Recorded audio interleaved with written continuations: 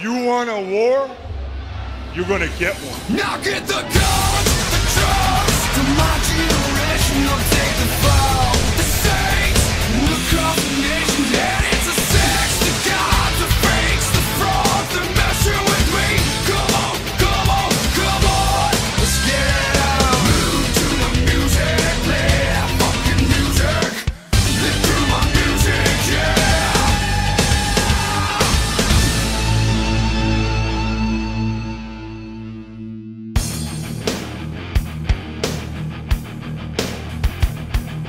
Here we are then, the final relive in the war of 1998. It's the 28th of December, and tonight Raw comes live from Albany, New York, while Nitro takes place in Baltimore, Maryland. It's going to be an interesting show this week for sure. We're 24 hours removed from Starrcade 98, and we have a new world champion on Nitro. The WCW show opens up with footage from last night where we see Eric Bischoff celebrating with his black and white teammates inside a limousine. While over on the USA Network, we learn that Vince McMahon's going to fire Shawn Michaels tonight on Raw. More on that later though. We have an AEW All In Jam Up Guys special this week. First, here's Tim and Dennis representing Reliving the War inside Wembley Stadium. Those boys stole the show just like Freddie Mercury did back in Live Aid in 85. Thanks very much, lads, and I hope you had a great time at All In. And check this out remember German Bratwursts, Freddie and Mikhail? They were Jam Up Guys back in January, and they're back. They are two time Jam Up Guys, and they not only attended All In, but they're also expecting their second little Jam Master in a few months' time.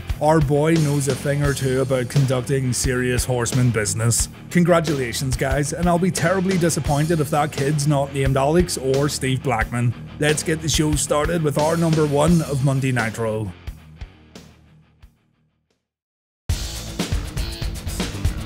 The commentators talk about what happened at Starrcade. Bischoff defeated Flair and Nash ended Goldberg's undefeated streak. Larry Zbyszko remains hopeful though and he says 1999 will be WCW's year. I bet it isn't, Larry. I bet it isn't. Ernest Miller wants to whoop someone tonight and Chris Jericho went through the trouble of finding Ernest an opponent. It's Shiima Nobunaga, or as Jericho likes to call him, And Shiima Ramalama Ding Dong, we know that you have what it takes. Jericho put Shiima over, saying he's a karate machine trained by Ultimo Dragon, and Chris promises that both he and Ralphus will watch Shiima's back during this match. Unfortunately, the cat was on form tonight and Shiima only lasted a minute or so. Cat kicked his opponent in the corner, he hit Shiima with a power slam, and the feliner was enough to give Ernest the win while Chris Jericho laughed at the entranceway. Poor Shiima Ramalama Ding Dong didn't stand a chance.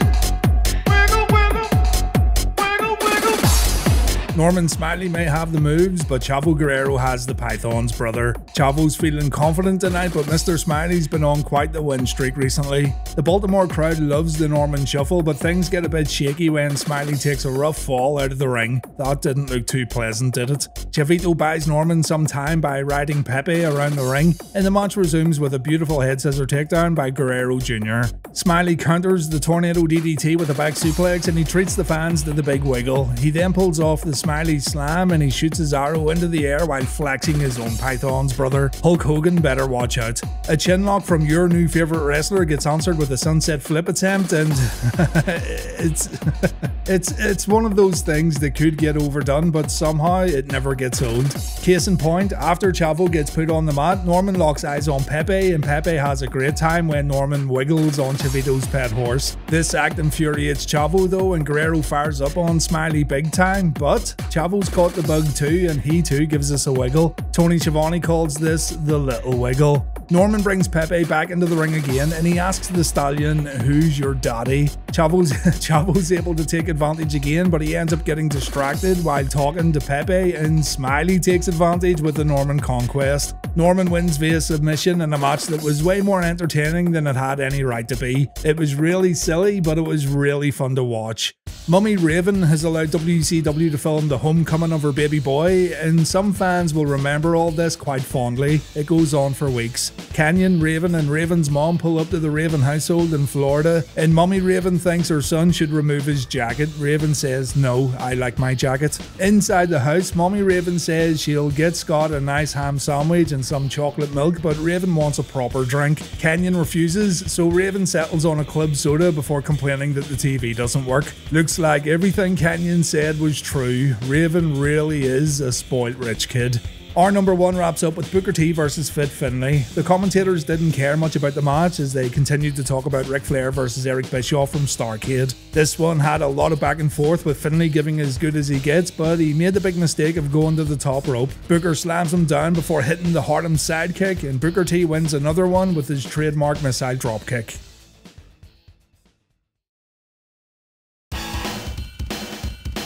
On Sunday Night Heat, we learned that Mr. McMahon saved Kane from getting institutionalized. This explains why Kane's now part of the corporation. McMahon made Kane thank him in the middle of the ring, and it's clear the Big Red Machine's going to be Vince's new instrument of destruction. McMahon says everyone who heard Shane last week's going to get payback tonight on Raw. Commissioner Michaels is going to get fired as soon as he enters the building. And seeing as Kane already took care of X-Pac last night on Heat, the corporation are going to target Mankind right at the beginning of the show. Mankind gets beaten up inside the boiler room. McMahon calls Foley a freak. And Vince says Mankind's going to get exactly what he wants tonight a shot at the hardcore title. Shane then informs Vince that HBK already booked Road Dogg versus Val Venis for the hardcore belt. And Vince says, well, we'll see about that. That Road Dogg versus Venis match opens up the in ring action on Raw this week while Ric Flair cuts a promo on Nitro. Ladies and gentlemen, boys and girls, children of all ages.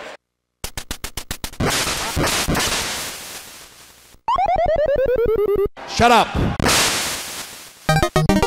This opening hardcore match on Raw is the least hardcore match you've ever seen in your life. Not only did the competitors fight fair, more or less, and there were no weapons involved, but after just two minutes of standard action, Test comes to the ring and he attacks Val Venis. The referee then calls for a DQ in a hardcore match. What the hell? Even the commentators wonder what Earl Hebner's doing here. The corporation attacked Venis on the outside. DX then hit the ring and they quickly remember that Val Venis isn't a fellow degenerate, so they just kinda let the corporation carry on. But then Mr. McMahon appears with a microphone to straighten this mess out. McMahon says the match is officially over, but Road Dogg shouldn't worry. Jesse James is going to defend his belt again later on, and it's going to be against Mankind. McMahon says DX are going to pay. Nobody touches my son Shane, and nobody laughs at my son Shane. Vince then explains why he's firing Shawn Michaels. HBK held the corporation back while Shane took a beating last week, so Vince promises that Shawn will be humiliated in the middle of the ring tonight on Raw. Here's DX's matches for tonight. Along with Road Dogg versus Mankind, we've got Bossman versus X-Pac, Billy Gunn versus The Godfather, and Triple H versus Ken Shamrock. On Nitro, Ric Flair comes to the ring carrying his bags. He says he thought he was done, he was to go home and get ready to retire, but when he sat on the plane, he decided he needed to go to Baltimore instead to address Eric Bischoff. Ric completely loses it again. To prove he isn't broke, he takes off his clothes and he says his threads are all Armani, Perry Ellis, and Hugo Boss. He takes his suit out of his bag to flex on Eric Bischoff, and oh no, Ric's $2,000 alligator belt comes off next, along with his Rolex. Ric's saying that all these things can be Eric Bischoff's, but we don't know exactly what he's getting at here. Ric starts ripping up $100 bills before taking off his Gucci shoes, and fuck me, someone in the audience got a nice settlement out of that one, I'm sure. The pants then come off, Flair elbow drops John Cena, and Ric says he'll sign everything he owns over to Eric and he'll leave wrestling forever if Bischoff steps into the ring with him one more time. There is a catch though, if Ric wins, he'll be allowed to run WCW for 90 days. An oddly specific stipulation right there, but okay. And Ric says the first thing he'll do while in charge of WCW is take Bischoff's head out of Hulk Hogan's ass. A difficult task, but a doable task, I'm sure. The Nature Boy handcuffs himself to the ring ropes. He says he's not leaving until he gets an answer. And if Bischoff doesn't show up, then Ric's going to get naked on TNT. Please, Eric, please show up. After a commercial break, Eric comes to the ring and Bischoff says this has been all great so far, but nothing would be better than taking everything away from Slick Ric. Ric gets a little heated, Bischoff tells Flair to calm down or he'll have a heart attack, and Ric says when he dies of a heart attack, it'll be on Easy E's girlfriend. Naitch is on top form tonight. Eric agrees to the match. If Flair wants another beating, then so be it. The Horsemen aren't here apparently, so Eric thinks this will be another easy victory just like last night. Flair, meanwhile, says Eric's a dead man, and this is going to be our Nitro main event tonight, guys. Ric was so entertaining here. I know he wasn't happy in WCW, and all this leads to more nonsense down the road, but this promo right here was great. By the way, I want to say hi to my one little fan out there. Hello, Smokey, my cat.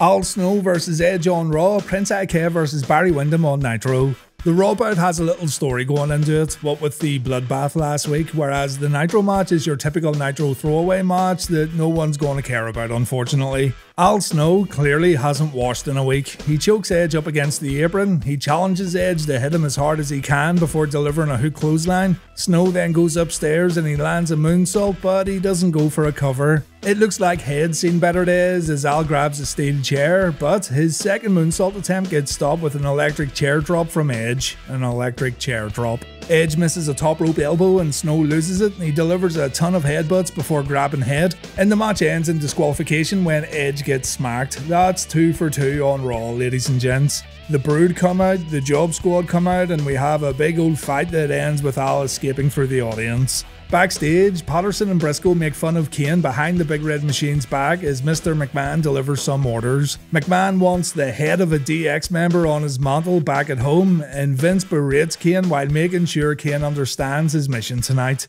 Dennis Knight is backstage at Raw. X Pac wonders why Dennis showed up tonight, and Dennis said that he told him to be here. Who is he? Who knows?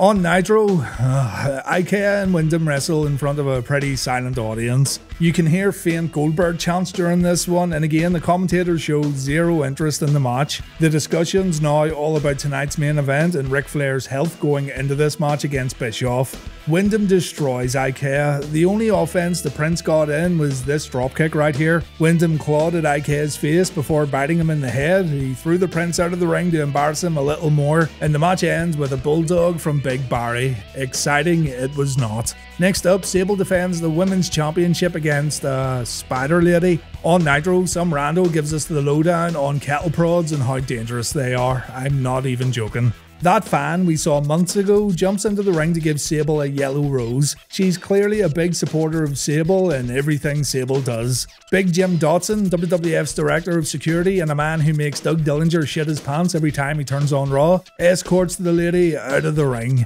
Here comes Spider Lady, 10 out of 10 for the ring gear. And guess what? The match doesn't even get started. That's 2 DQs and a non starter on Raw.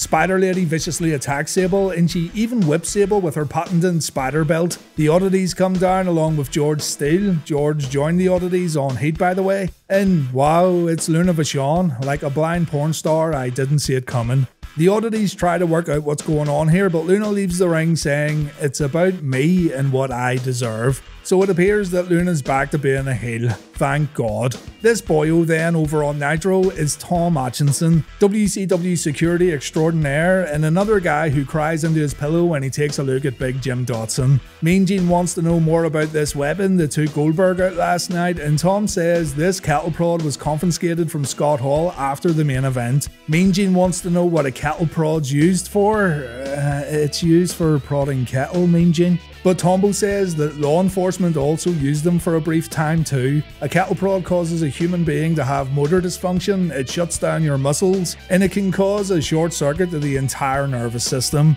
Mean Gene wants to know Tom's professional take on the Goldberg match last night. Did that cattle prod cause Goldberg to lose the world title? And what do you think Tom said? Of course he thinks Goldberg lost the belt because of the cattle prod. He was hardly going to say no after putting the thing over so much. For folks who don't spend their time prodding cattle and zapping criminals, this was some very insightful television.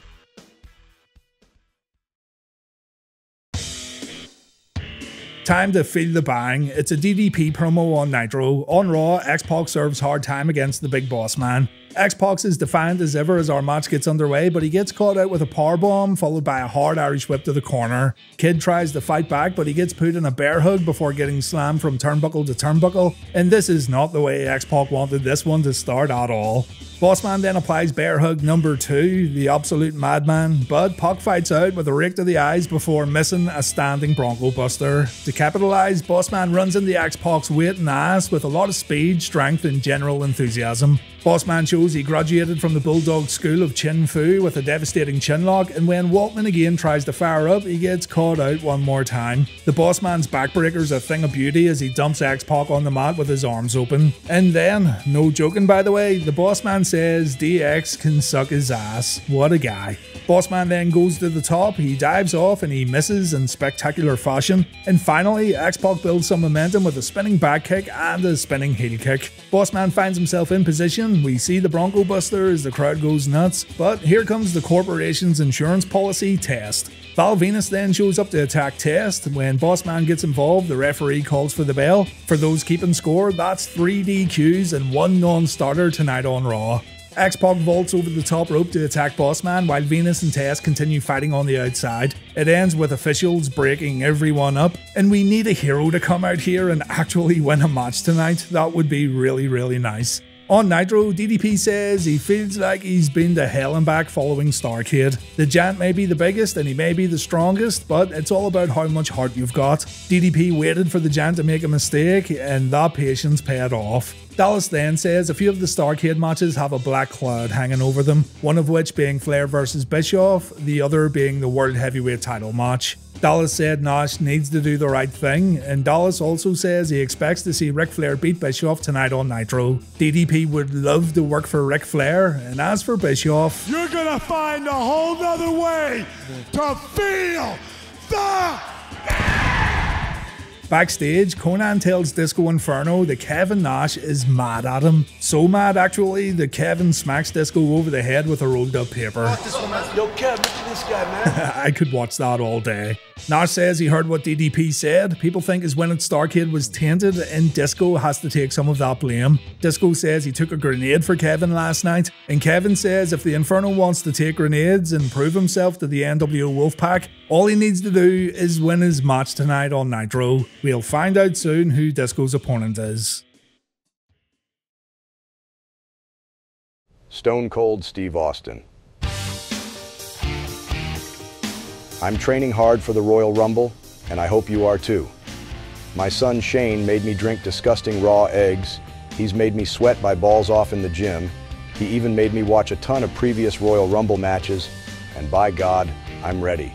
I'm ready to throw your ass over the top rope and ensure you don't get anywhere near the WWF Championship. I hate you, Stone Cold. I really do. And trust me, when it comes to winning the Royal Rumble, you have no chance in hell. I'll see you on January 24th, you bald headed bitch. Yours truly, Vincent Kennedy McMahon.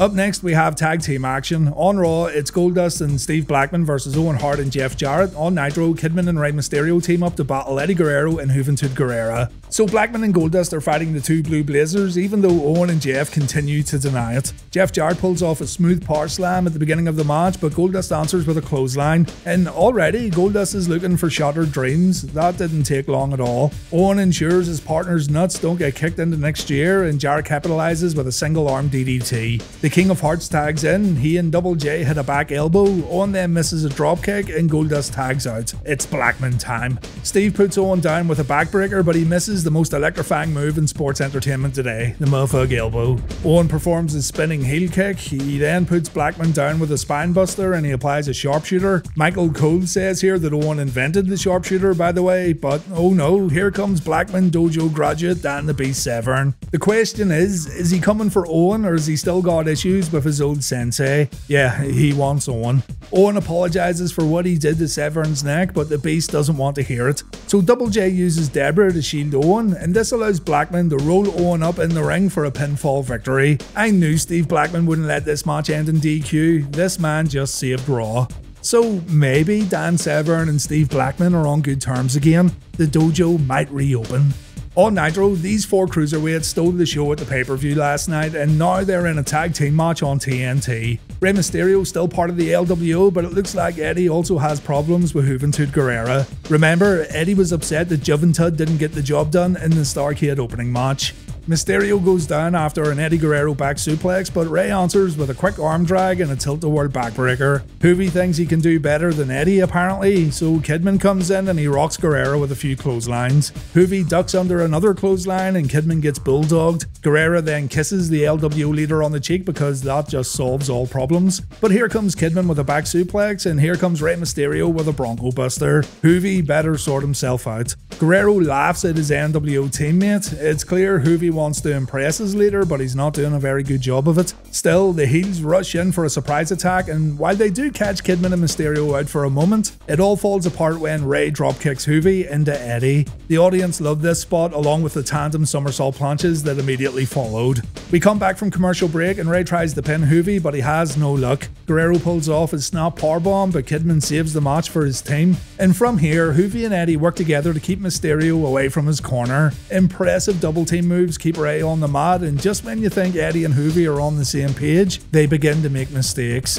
Juvi kicks Eddie by accident, Eddie headbutts Juvi by accident, and that second little slip up allows Kidman to tag in, and the cruiserweight champ cleans house. Mysterio and Kidman pull off an impressive double powerbomb and senton combo, but color me surprised, Kidman and Mysterio mess up, and this leads to the babyfaces suffering a loss. Mysterio gets knocked out of the ring, Juvi keeps Mysterio away with a somersault senton, and Eddie wins it by hitting Kidman with a frog splash. A good tag team match here on Nitro, much better than Raw's offering, and the LWO definitely needed a win after what happened at Starrcade.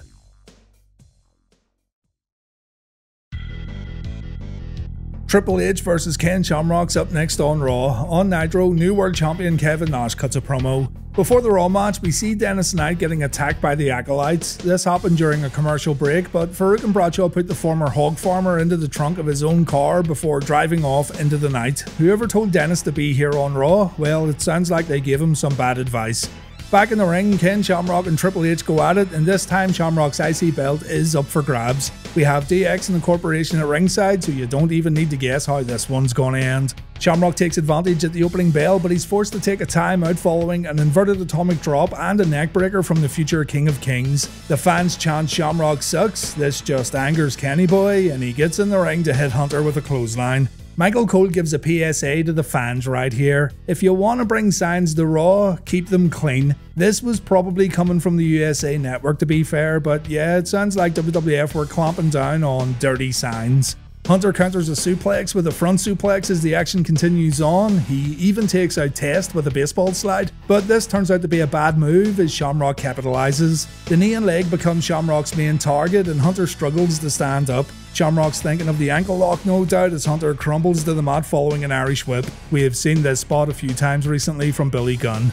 Triple H manages to counter a second Irish whip and he whacks Shamrock from behind as the crowd try to will Hunter back into the match. Both men get up, Triple H goes on offense with a few strikes. We then see the Harley Race knee and the facebreaker knee smash, and that's when the big boss man jumps on the apron. Hunter takes Boss Man out, but the distraction allows Kenny Boy to apply the ankle lock. After a long struggle, Triple H makes it to the ropes, but Shamrock won't let go. It's another DQ here on Raw, folks. I thought it would have ended due to interference, but a DQ is still a DQ.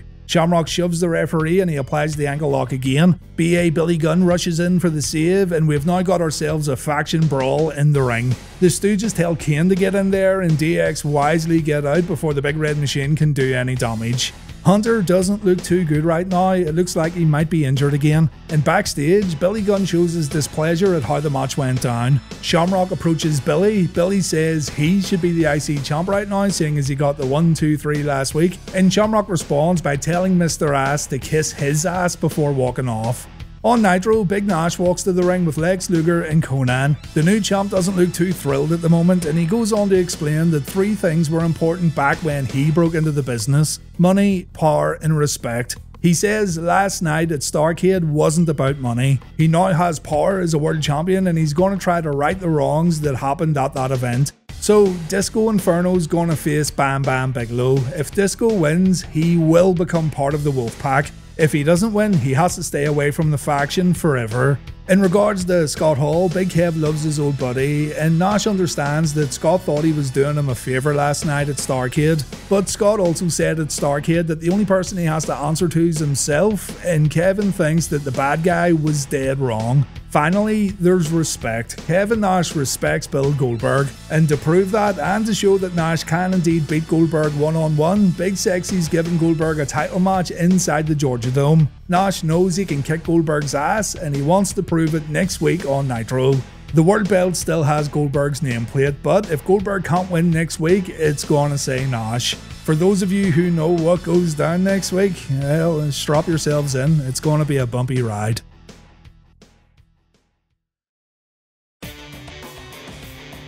Mark Henry cuts a promo next on Raw's War. On Nitro, it's Disco Inferno versus Bam Bam Bigelow.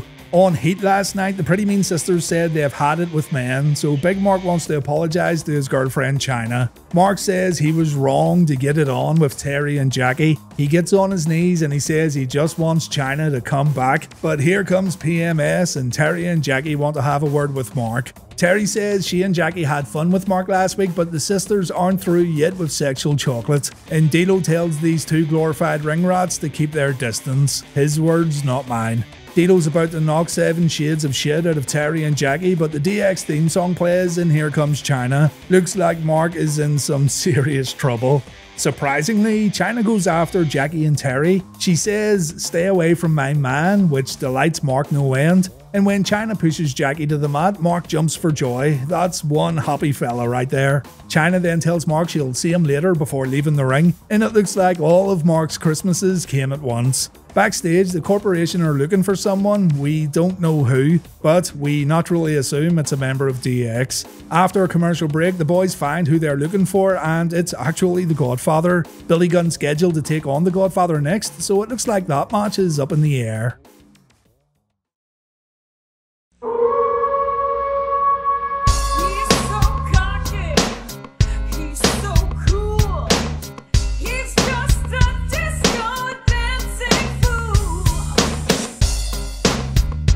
So it's Disco Inferno's biggest challenge to date. If he beats Bam Bam, he's officially in the NWO Wolfpac. Bam Bam tosses Disco from one side of the ring to another twice, and when Disco tries to fight back with a punch to the midsection, Bam Bam just shakes it off before sending Disco into the corner for a running splash. This isn't going well for the Inferno at all. Bigelow goes up for the diving headbutt, but Disco moves out of the way. This might be his only chance. Disco tries a few clotheslines, but Bigelow won't go down, so he instead delivers a swinging neckbreaker before going to the second rope. Disco lands an elbow drop, but Bigelow kicks out at two.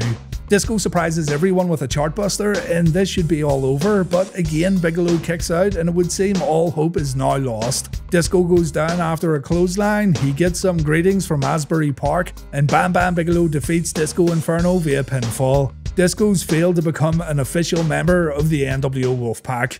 Backstage, Eric Bischoff warms up for his match tonight against Ric Flair, and WCW then shows some footage recorded by Dr. Uh, Dr. Charles Brock. It's Ric Flair's doctor. This J Brone talks about Flair's health issues last week. The Nature Boy was brought into hospital, he was put on an IV, and he was placed on a cardiac monitor. After some tests were done, Dr. Brock says Ric didn't actually suffer a heart attack, but his blood results showed poisoning by digitalis. Ric Flair was Ric was poisoned. Even Mike Tenay can't believe where this one's going. Someone poisoned Ric Flair, and I'd be willing to bet it was Eric Bischoff. Mean Gene confronts Eric about this, and Eric's definitely on edge. But Eric says he had nothing to do with it, and Eric says he did nothing wrong. Yeah, okay, easy, you know, good poison and dirty bastard.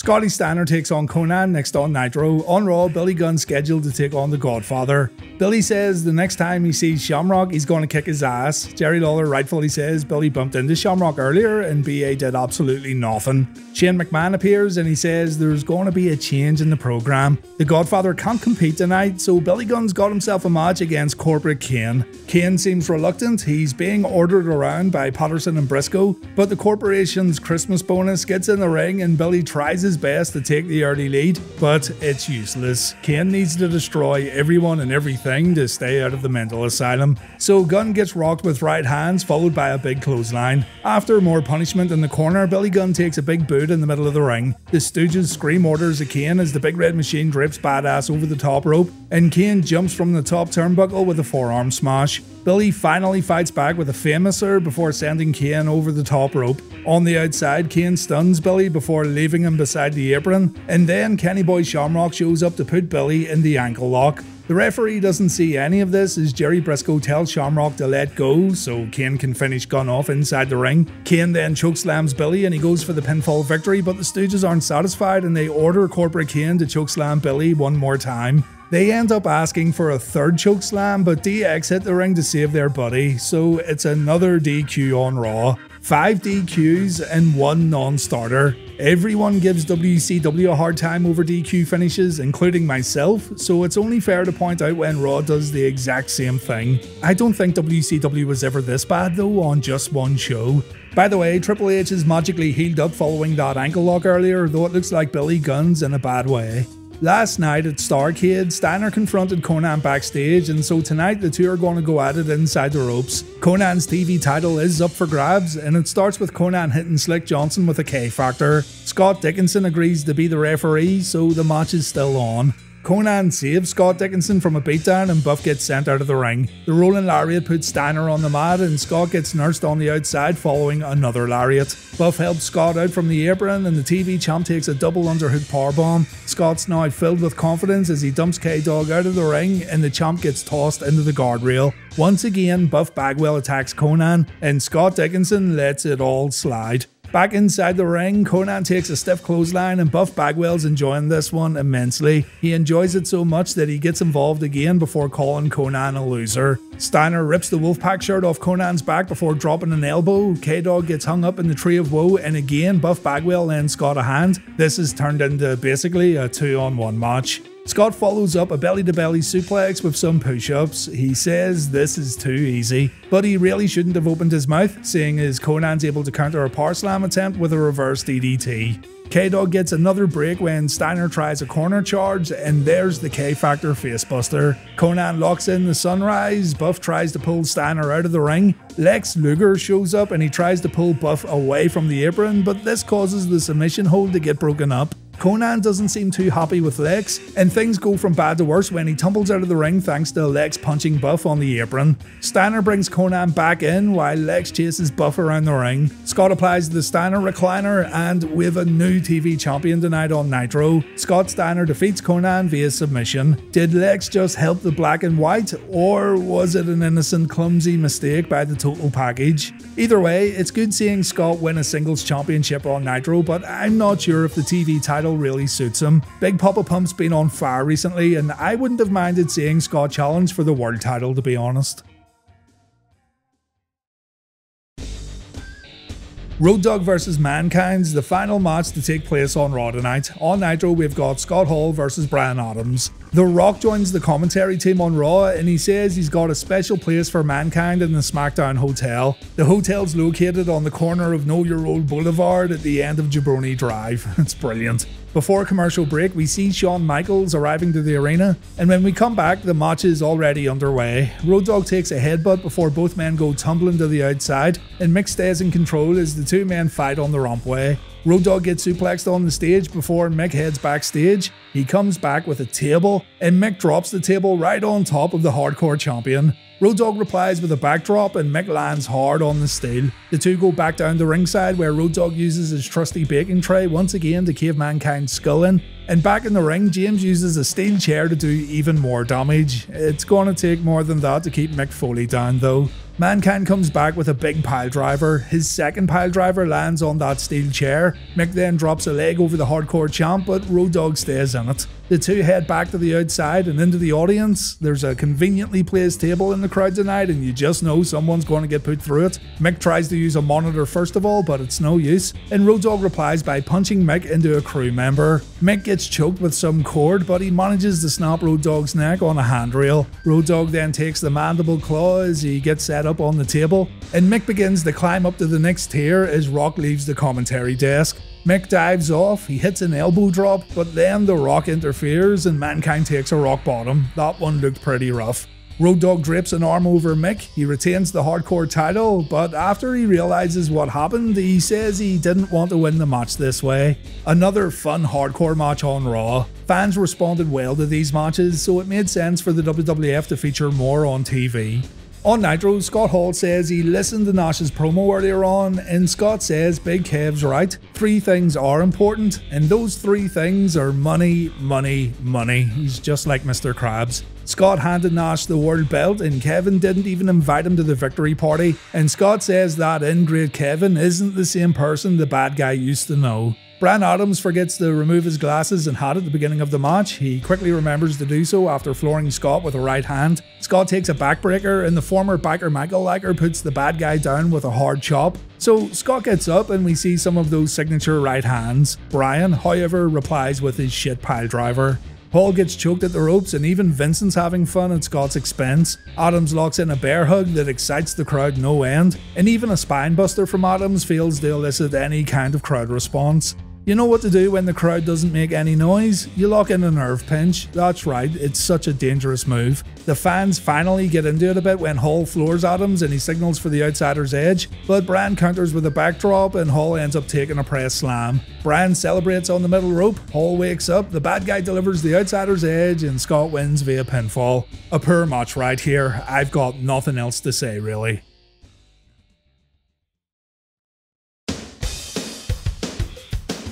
Raw ends with the public firing of Shawn Michaels. On Nitro, it's Ric Flair versus Eric Bischoff. Vince McMahon makes his entrance and he calls HBK out to the ring. Commissioner Michaels gets inside the ropes and Vince says when Shawn made his WWF debut all those years ago, he asked Vince for an opportunity. Shawn became a star thanks to both his in ring abilities and the money Vince spent on marketing the Heartbreak Kid, but Shawn winning the WWF Championship was the beginning of the end. Vince plays some footage on the Titantron. It's from an episode of Raw back in March where Shawn Michaels called Vince a piece of shit. This line was cut out of the original broadcast, by the way. Shawn also made a small thread here about potentially not showing up for WrestleMania, and this too was also cut from the original broadcast. So yeah, Vince had Shawn by the balls here. We also see Shawn holding the corporation back last week, so McMahon has no choice. Vince says Shawn's one of the greatest superstars of all time, but he sucks as a commissioner. He then says Vince McMahon doesn't lay down for anybody, and Vince then fires Shawn Michaels on the spot. We think HBK is going to take it well, but he lays Vince out with sweet chin music and the fans lose their minds. HBK is just about to teabag his boss, but he's forced to get out of the ring and escape through the audience when the corporation show up. So, once again, Shawn Michaels has left the building. The super kick was great and it got a fantastic reaction from the audience. Anyone who attacks McMahon nowadays is immediately loved by fans across the world. HBK's time as commissioner was very brief and it's a shame it didn't last longer, but Michael still needed to clean his act up and for this reason he's going to get written off TV again next week. On Nitro, Eric Bischoff tries to weasel his way out of this main event match. Instead of making his entrance, he makes a beeline for his limousine, but surprise, surprise, the horsemen are waiting inside. After a commercial break, Bischoff gets brought down to the ring to meet his maker, and that confidence he had earlier on is all but gone. A few stomps from the Nature Boy gets followed up with a low blow. Ric then uses Eric as a punching bag in the corner, and there's another low blow, ladies and gents. After last night, I'm surprised Bischoff's balls aren't already broken into tiny little pieces. Flair then tries to rip Bischoff's jaw off, and when Charles Robinson tries to intervene, Ric throws him away, but the match is going to continue. A few knife edge chops put Eric on the mat, and just as Flair's about to punch Eric's head off his shoulders, the black and white appear. Thankfully, the horsemen have stuck around and they're able to keep the NWO at bay. But the giant shows up and he's able to just march right through the chaos. Man, this crowd, by the way, is absolutely electric for this. Giant gets in the ring, he headbutts Flair, he signals for the choke slam, but oh my god, Macho Man Randy Savage is back. He's bringing a new female valet to the ring, and he's wearing a black and white NWO shirt. Macho gets in the ring, he taps Giant on the shoulder, and the two seem cool with one another. But as soon as Jan turns his back to chokeslam Flair, Savage hits a low blow on the big man, and Jan gets sent over the top rope. Ric then hits a vertical suplex on Bischoff. The Nature Boy applies the figure four, and Bischoff gives it up. Ric Flair is the new president of WCW for 90 days, and Slick Ric finally got payback. WCW superstars and announcers join Ric in the ring for a celebration, and the show ends with Bischoff getting put in another figure four. A real feel good moment to end Nitro. It seems that WCW have reclaimed control for a while, and Bischoff's abuse of power has come to an end. You may wonder why they just didn't do this at Starrcade, but keep in mind that the Monday night ratings and competing with WWF was way more important to WCW during this time period.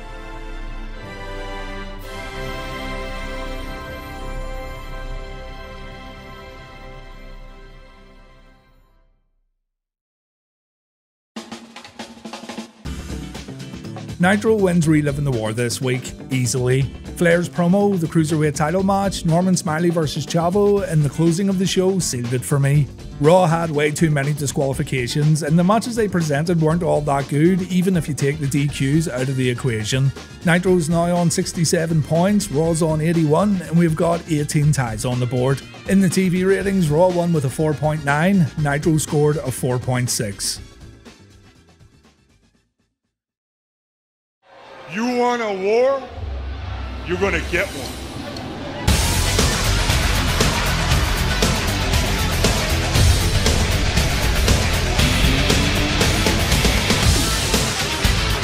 Congratulations, guys, you made it through 1998. It was a very interesting year with some moments and matches that would shape the future of pro wrestling as a whole.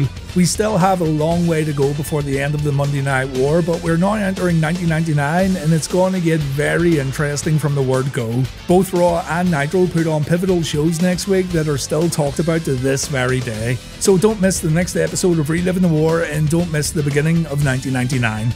As always, thank you for watching and thank you for being invested enough in this series that I'm able to begin another year of the Monday Night War. Take care, everyone.